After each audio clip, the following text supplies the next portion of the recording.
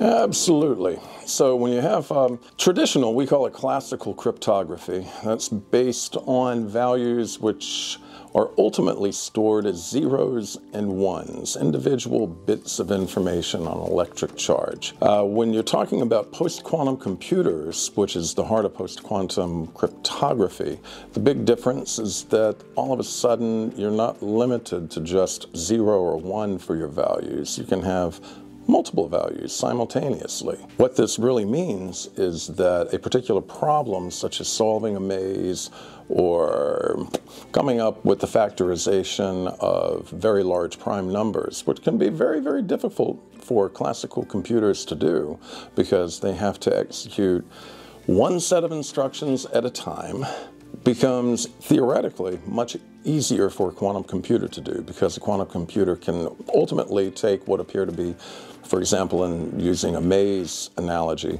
solving every path at once. The way to think of those paths is to think of values that are stored in what are called qubits.